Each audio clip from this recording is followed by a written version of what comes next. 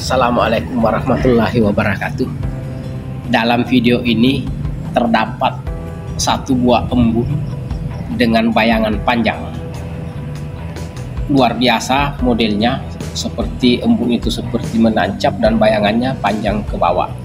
Ini baru pertama kali ya saya dapat model embun seperti ini dengan memberikan pemandangan yang sungguh indah sekali. Jadi dengan video yang saya yang saya rilis ini yang saya dapat tidak sengaja di luar tepatnya 24 Januari tahun 2024 atau hari Rabu di Batam Kepulauan Riau. Ini membuktikan bahwa embun itu selain berguna untuk hewan juga memberikan pemandangan yang sungguh sangat indah sekali. Luar biasa. Silahkan disaksikan. Terima kasih